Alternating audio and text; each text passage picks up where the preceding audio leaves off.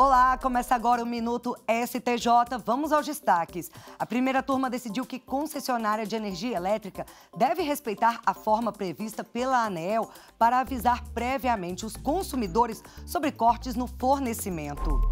Já na segunda turma, os ministros decidiram que, após o prazo de entrega da declaração de imposto de renda, as retificações devem seguir a mesma modalidade usada para transmitir inicialmente, completa ou simplificada.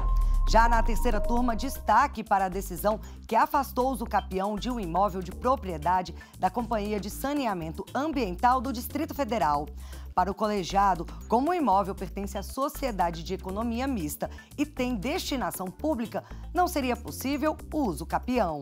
Você confere essas e outras notícias no site do STJ e nas nossas redes sociais. Até a próxima!